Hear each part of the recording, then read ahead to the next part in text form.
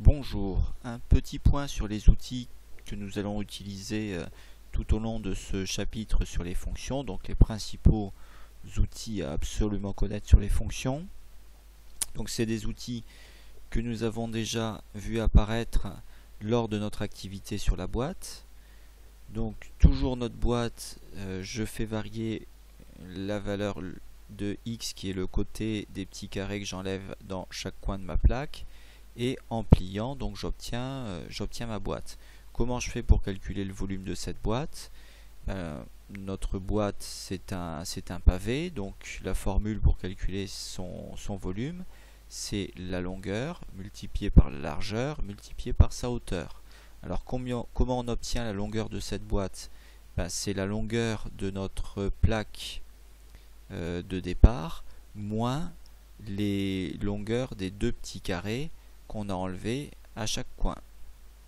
Pareil pour la largeur, c'est la largeur de notre plaque moins les largeurs des deux petits carrés qu'on a enlevé à chaque coin. Et la hauteur, ben ça correspond justement à la hauteur de chacun des quatre petits carrés. Donc finalement, euh, comment on fait pour calculer le volume?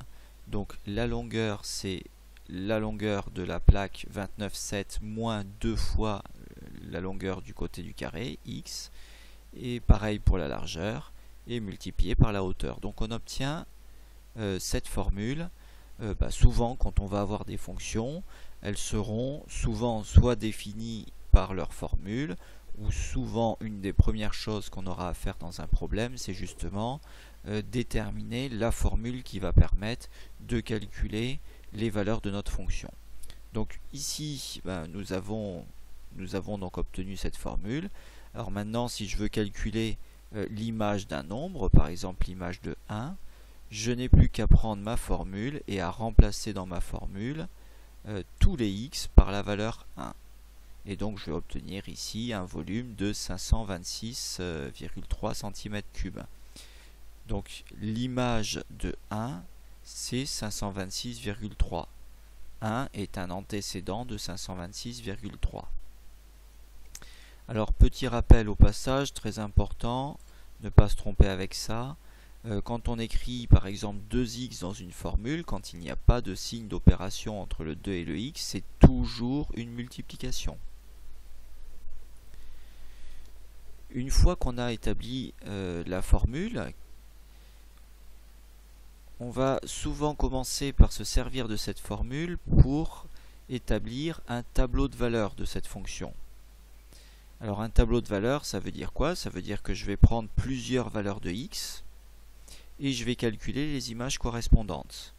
Alors en général, euh, ben, ces valeurs de x, euh, on va prendre euh, un intervalle qui nous intéresse, donc on va avoir une valeur minimale de x, une valeur maximale de x, et on va prendre plusieurs valeurs généralement réparties régulièrement dans cet intervalle.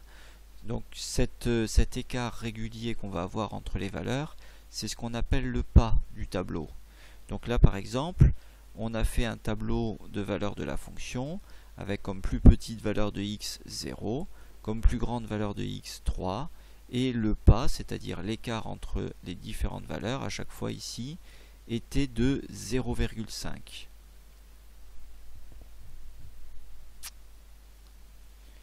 Une fois qu'on a fait ce tableau, on va pouvoir réaliser un graphique de notre fonction.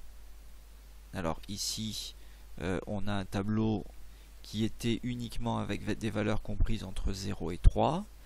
Donc euh, normalement, on n'obtiendrait que la partie du graphique ici qui va de 0 à 3. Il faudrait continuer euh, le tableau jusqu'à 10,5 pour pouvoir continuer de tracer la courbe. Donc on place tout simplement euh, les points ici obtenus dans le tableau. La première ligne, c'est-à-dire les valeurs de x, on les place toujours sur l'axe des abscisses. La deuxième ligne du tableau, on va le placer sur l'axe des ordonnées. Donc là, je vais avoir mon volume. Et ici, j'ai donc euh, les valeurs de x sur l'axe des abscisses.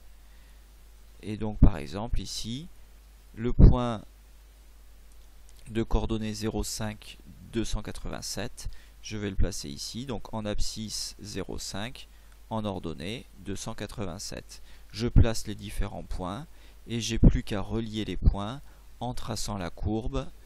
Euh, une courbe se trace à main levée, sauf lorsqu'il s'agit d'une fonction affine. Dans ce cas-là, on est sûr que c'est une droite et on va pouvoir la tracer à la règle. Merci.